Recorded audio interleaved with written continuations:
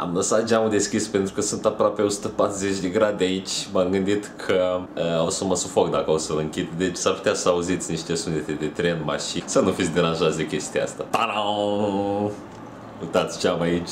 V-am promis de mult că vorbim despre Gravity Falls Journal 3. Abia așteptat să vorbesc despre el.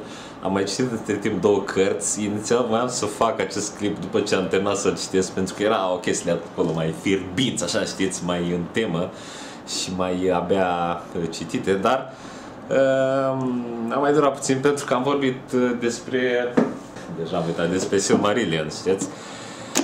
Și am zis că mai am puțin să vorbesc despre Gravity Falls Journal 3, dar azi voi vorbi despre el, uh, așa că fiți pe fază, uh, duceți-vă și faceți-vă un ceai călduț, că clipul ăsta o să dureze și da, voi încep să vorbesc despre această carte pe care am citit-o cu o foarte mare plăcere, mai ales pentru că am văzut tot Gravity Falls și mi-a fost ușor să-mi dau seama de anumite chestii de aici.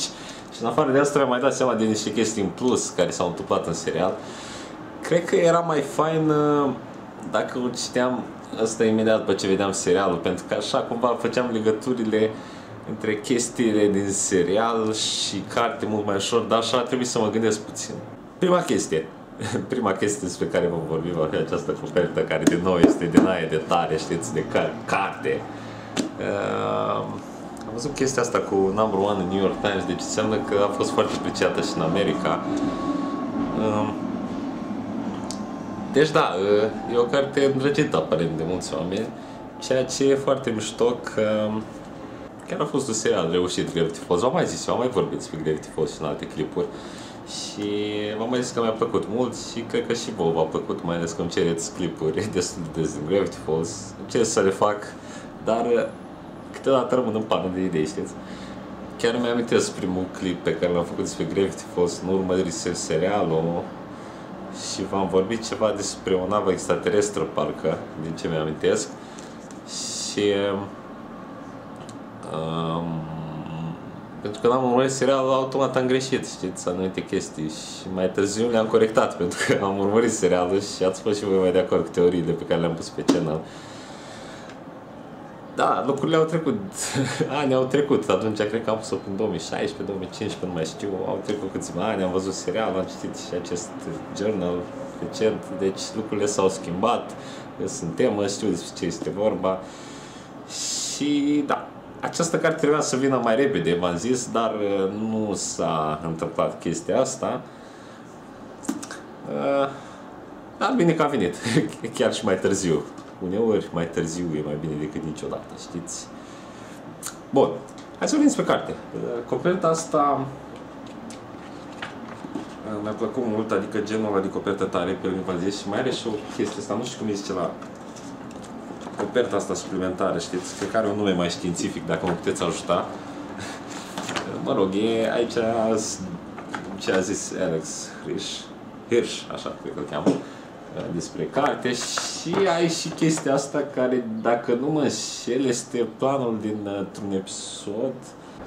Mă rog, pe scurt, cartea vorbește despre întâmplările pe care a trecut Ford, după aceea sunt completările lui Dipper și mai apare și Mabel din când în când cu niște completări cred că este și o da, este și o bucată de jurnal scrisă de sus. Uh, Grant Stan, nu știu dacă a scris. Nu, nu cred că are nimic scris aici, dar uh, a, și bineînțeles și de Bill sunt niște pasaje scrise de el, pasaje pe care voi le-ați decodat, m-ați ajutat în community, de vă mai pus poze acolo și aparent Bill a scris în pasajele alea. Uh, cred că mai este și cu Măgachet, dar nu știu fac, cum îl cheamă, Măgachet sau Măgbucket?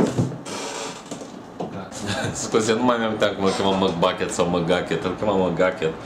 Și el a scris aici, are câteva pasaje. Oricum, îți mai, sau fac referire la el, chiar nu mai știu. Oricum, sunt referințe care vorbesc despre el și despre modul cum a încercat practic să-l să-l oprească pe Stan, să-l oprească pe Ford, să-l contacteze pe Bill, să-l invoce pe Bill și să facă acel pact cu Bill. Uh, și atunci Ford a zis că el vrea să facă pactul pentru că datorită pactului uh, Bill îl va ajuta cumva să să afle misterele din Gravity Falls. De fapt, marea teorie a misterilor, sau nu știu cum se cheamă aici, Grand Theories of... Uh, da, nu mai știu, mare teorie a ciudățenilor sau ceva de genul. Uh, cartea începe cu uh, descrierea lui Ford despre lucrurile ciudate care se întâmplă în Gravity Falls și începe așa lejer, știți, cu chestiile ciudate, cu ochii zburători, ochi care nu știu, uitați aici, niște ochi, nu știu exact dacă acești ochi mai apar în serial, dacă apar să mă corectați voi, știu că sunt în intro în schimb, știți atunci când se uită ochii la, la cameră cumva, și nu cred că mai apare. Și asta e o referință cumva la intro. Deci, v-am mai zis, mi s-a părut interesantă chestia, că el explică cumva intro-ul serialului, știți? Mă rog, mai apar lilieci, mai apar gnomi, bineînțeles, ăștia despre care vorbesc și Dică mai acolo. Să răsfoiesc, spune ceva despre el, despre Ford. Da, sunt pasaje în uh, carte care sunt cumva blurate, știți, sau uh, acoperite sau ceva de genul. E, cumva, pen, asta s-a întâmplat pentru că Bill cumva a obținut jurnalul ăsta lui Ford, știți, și a încercat să mascheze anumite chestii. Și povestește despre Bill aici, mai Muse, ăsta e Bill Cipher, care i s-a arătat în vis și după aia, um, mă rog, inițial credea că nu are nevoie de ajutorul lui Bill, dar și-a dat seama mai, mai încolo, de fapt Bill a păcălit că o să-l ajute, nu l-a ajutat și cumva a făcut pactul acela și a ajuns în altă dimensiune. Bine, chestia cu altă dimensiune spune spre sfârșitul cărții. Spune despre creaturile pe care le găsești prin Gravity Falls. Ideea e că mi-a mai, plăcut, mi-a mai plăcut o chestie la această carte. Cumva creaturile astea, dacă te gândești bine, sunt niște tipologii umane, știți? Adică uitați, l avem pe ăsta aici, stați scot coperta asta, că mă cam deranjează acum. Îl avem pe ăsta. The Abominable Bromance, știți? E, ăsta e cumva un stereotip de la cocalar, din ăla făcut la sală mușchilos, care nu-i pasă de nimic și nu-i pasă de nimeni, știți? Și n-are nimic în cap.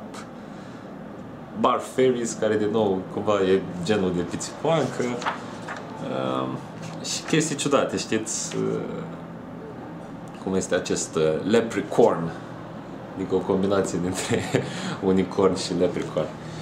Um, și